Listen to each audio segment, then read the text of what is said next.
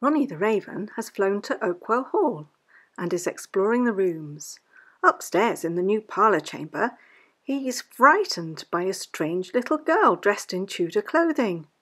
Don't worry, Ronnie, it is a Tudor dummy board.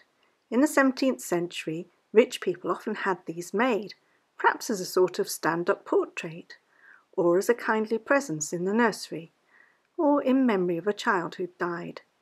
This little girl has her playful dog with her and a basket. Let's make a cartoon dummy board.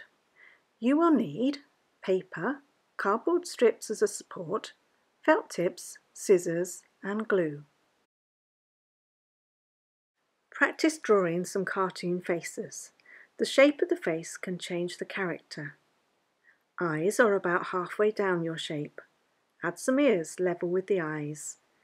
Try out different kinds of hair, some for boys, some for girls. A baby might just have one curl. If you want further practice, we have found the YouTube videos by Sheffield artist Pete McKee really helpful. Once you've practiced different faces, have a good look at your face. Decide on your face shape and have a go at drawing it.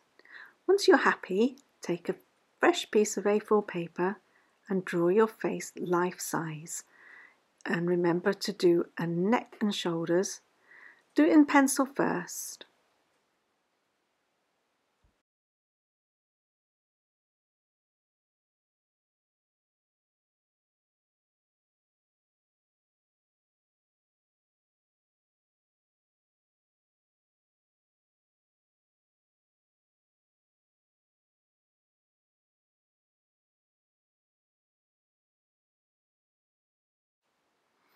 Next, colour it in. Use a black marker to do all the definite lines and use some felt tips to give some colour.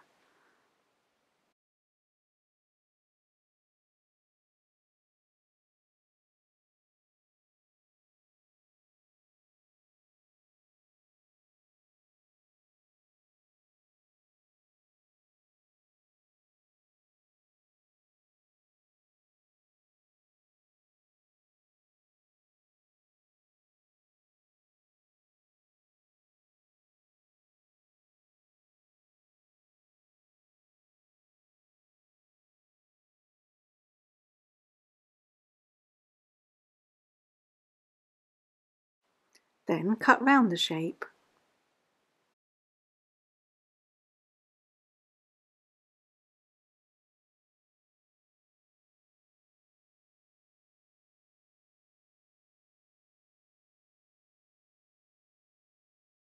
Stick a strong piece of card to the back.